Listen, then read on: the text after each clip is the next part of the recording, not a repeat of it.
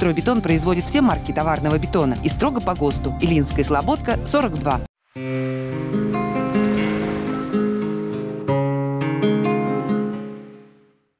А вот МУП «Чистый город» в резерве. В резерве участников фестиваля цветов.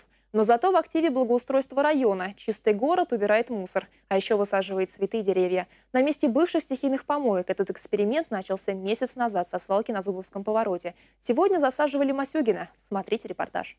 В лесу родилась елочка.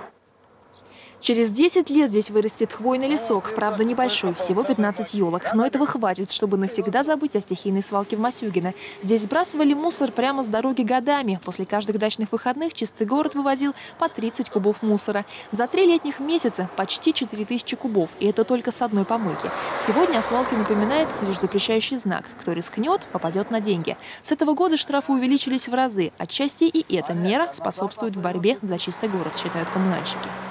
Во-первых, вышел э, закон, который э, заставляет руководителей предприятий, садоводческие товарищества заключать э, договора, потому что увеличены штрафы чуть ли не до 300 тысяч рублей. И это подстегнуло установить контейнера на предприятиях, садоводческих товариществах. Ну и люди э, видят, проезжают мимо, что на этих местах что-то высажено, уже тоже не рискуют, так сказать, выбрасывать.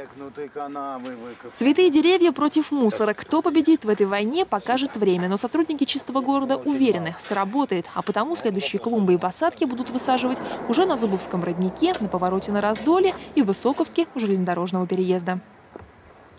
Татьяна Барулина, Максим Максимов, Юлия Левицкая. Новости дня.